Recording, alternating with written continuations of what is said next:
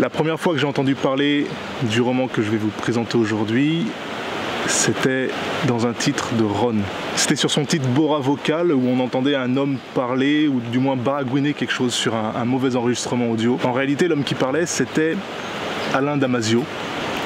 Et il ne parlait pas à quelqu'un d'autre, il parlait à lui-même. Il tenait une espèce de journal de bord durant la rédaction de son roman. Il s'était totalement coupé du reste du monde pour écrire et ressentir la horde du contrevent. L'histoire globale de la horde du contrevent est tout compte fait assez simple.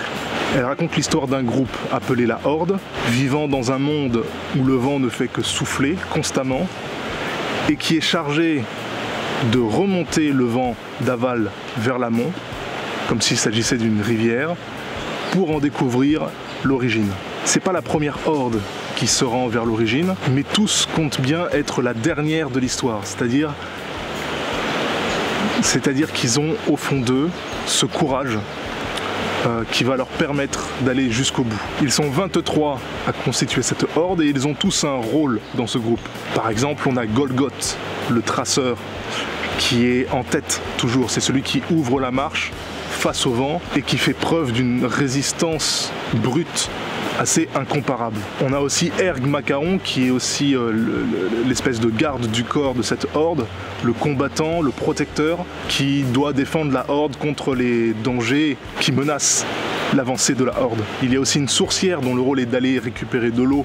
On a aussi euh, une soigneuse, euh, une aéromètre, une maîtresse des vents, celle qui a la connaissance des vents. Il y a aussi un troubadour et un scribe qui sont parmi les personnages principaux du roman. Le roman est construit de telle manière que chacun leur tour, chacun des personnages va venir euh, raconter un bout de l'histoire. Et ce qui est drôle, c'est que à chaque début de chapitre, euh, si on peut appeler ça comme ça, où les personnages vont intervenir, on a un glyphe qui nous rappelle quel personnage parle. Un glyphe qui permet de repérer leur rôle dans la horde et qui est tatoué sur leur peau. Quelquefois on est un peu perdu euh, pour se retrouver dans qui parle.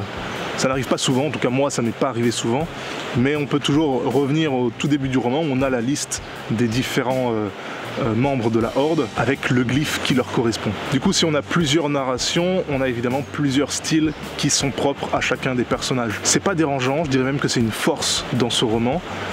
C'est même un tour de force de la part de l'auteur d'avoir pu garder et alterner ces différentes approches de la vie, ces différentes euh, approches du langage euh, et ces différentes approches du vent. Je dis du vent, mais en fait je devrais dire des vents. La quête ultime nous est présentée comme étant celle de retrouver l'origine du vent. Et puis il y a une quête un petit peu sous-jacente qui est de connaître toutes les formes de vent qu'il existe au monde. Au début du roman, on rencontre le furvent, qui est une forme assez violente des vents. Et puis on sait très vite qu'il euh, nous en reste trois à découvrir, pour pas dire que tu vas crever.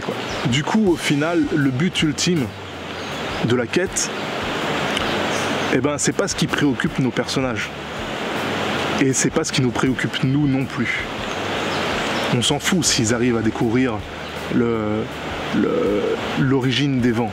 On s'en fout parce qu'on sait qu'ils vont y aller je veux dire, leur histoire ne servirait à rien d'être racontée euh, s'ils n'arrivaient pas à atteindre leur but. Et même nous, en tant que lecteurs, on sait que l'on va aller jusqu'à la fin du roman. Ce qui est marrant, c'est que la pagination du roman est à rebours. Pour la version poche, on démarre à la page 700 et on termine à la page 0. Donc on sait qu'on va vers l'origine. Là où je veux en venir, c'est que la réponse d'une quête, la vérité qui se cache derrière une énigme, elle n'est pas au but ultime, elle n'est pas à la destination. L'important, c'est le voyage qu'on aura fait. L'important, c'est la lecture qu'on aura eue de ce bouquin. Le bouquin fonctionne comme ça, avec une, une espèce de miroir qu'il y a entre les personnages qui vivent leur quête et nous, en tant que lecteurs, qui lisons le livre. On le remarque même euh, dans la ponctuation. Il y a tout un passage du roman, à peu près au début, hein, je spoile rien, qui nous indique que les vents peuvent être retranscrits sous forme de ponctuation, avec des virgules pour noter un vent qui décélère, ou avec des apostrophes pour noter un vent qui accélère par exemple. Et puis tout un tas d'autres signes, d'autres glyphes pour noter des rafales, pour noter des tourbillons, pour noter des trombes, tout ça. Du coup les aéromètres et les scribes peuvent noter le rythme du vent, lui donner une forme et donc le catégoriser. Et c'est un peu pareil pour nous en tant que lecteurs. Au fur et à mesure de la lecture, on rencontre ces signes de ponctuation. Naturellement, quand il y a une virgule, quand il y a une apostrophe, quand il y a un point d'exclamation ou un point d'interrogation, on peut ressentir le vent, nous aussi, au fur et à mesure des pages, au fur et à mesure du rythme, du langage, de l'écriture qu'adopte Alain Damasio. Alors cet effet miroir entre le personnage, entre les personnages et le lecteur, et cette prolifération des personnages, ça nous permet en quelque sorte de nous retrouver dans le roman, à un moment donné. Peut-être s'identifier à un personnage unique, ou peut-être s'identifier un petit peu dans chacun, mais en tout cas, il y a beaucoup de résonance entre les lecteurs et les personnages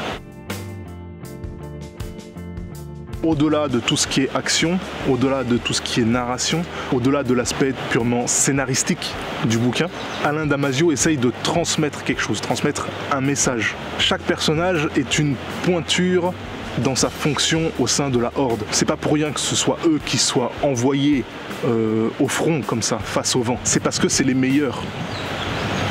C'est les meilleurs physiquement, mais aussi mentalement, et dans leur connaissance du milieu, dans leur connaissance du monde et dans leur aptitude à réagir et à réfléchir face à ce monde. Et comme ce sont les meilleurs dans chacun de leurs domaines, que ce soit euh, le feu, l'eau, le vent, ce que ce bouquin tente d'approcher, c'est la notion de nécessité d'être. À quoi suis-je nécessaire? Quel est mon rôle au sein de la société? Quelle est mon envie? Où est-ce que je suis le meilleur. Et qu'est-ce que je vais faire de tout cela?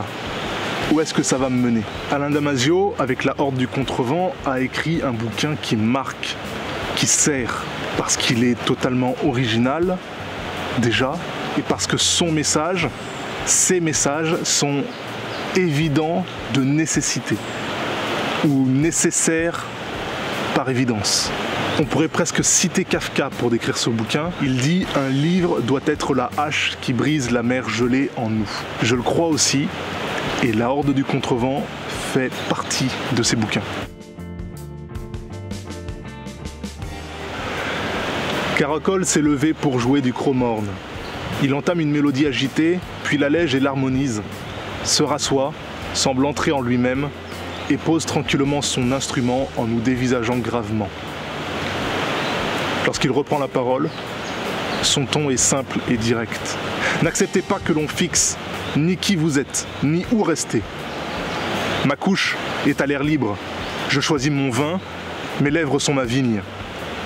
Soyez complices du crime de vivre et fuyez. Sans rien fuir, avec vos armes de jet et la main large, prête à s'unir, sobre à punir. Mêlez-vous à qui ne vous regarde car lointaine est parfois la couleur qui fera votre blason. Il marque une ultime pause, ses yeux rivés dans les nôtres, comme s'il y cherchait un écho impossible, une fraternité de résonance qu'aucun de nous ne peut lui offrir, là où il la rêve ou l'attend. Il se lève en faisant claquer rythmiquement ses syllabes, et il achève. Le cosmos est mon campement.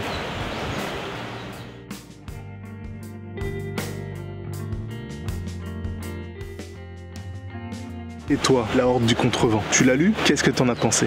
On m'a souvent dit que l'autre roman d'Alain Damasio était encore meilleur, La Zone du Dehors. Si tu l'as lu et que tu veux nous donner ton avis dessus, n'hésite pas, les commentaires sont là pour ça. Si ce nouvel épisode de Pas le temps de lire t'a plu, je t'invite à liker et partager la vidéo. Si tu n'as toujours pas le temps de lire, tu peux encore me proposer des bouquins à découvrir pour toi avec le hashtag TLDR. Ça veut dire Too Long Didn't Trade. Tu laisses ça dans les commentaires ou sur mon Twitter. Et puis on se dit à la prochaine.